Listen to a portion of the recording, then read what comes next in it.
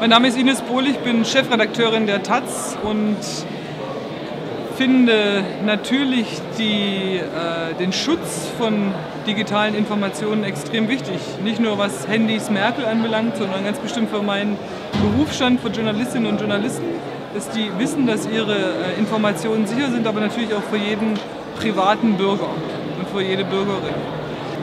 Ich glaube, Politiker sollten aufhören, nur zu beklagen, dass Menschen nicht mehr wählen gehen, sondern dafür sorgen, dass Menschen wissen, warum sie wählen gehen. Und gerade in Europa wäre das ein guter Schritt, wenn einfach die Informationen transparent gemacht würden, wenn Entwürfe transparent gemacht würden, wenn Einkommen transparent sind, wenn man einfach wüsste, was ein Politiker tut und wofür er steht. Vielen Dank für Ihre Aufmerksamkeit.